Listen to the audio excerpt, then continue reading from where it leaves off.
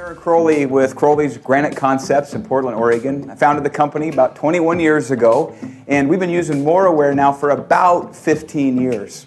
So before we started using Moraware, we had this uh, sort of calendar system. We used a whiteboard that we'd quadrant out, and then we used sticky notes for our installation calendar. The problem with that system, though, was that if anybody else took a call, you know, asking about the schedule, hey, when are my countertops going to be installed? You had to be standing in front of that whiteboard to answer the question.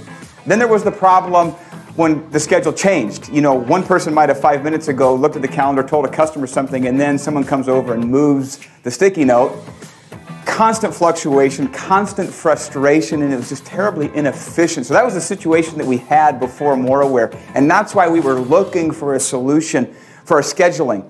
Um, you know, a lot of fabricators, I think, can relate to that call coming in.